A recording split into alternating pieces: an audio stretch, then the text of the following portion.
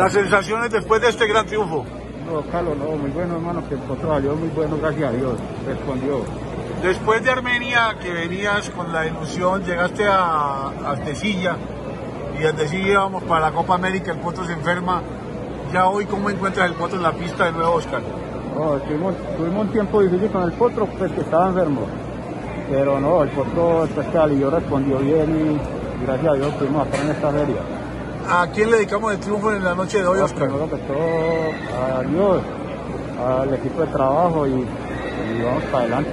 Y allá Felipe, ¿qué le- Felipe. ¿cuál es el mensaje para Felipe que debe No. estar sin uñas? Es un viejo berraco, hermano, que yo lo quiero mucho. Disfrútalo en Vaya, buena vaya. hora, muy merecido el triunfo de hoy, espectacular el potro.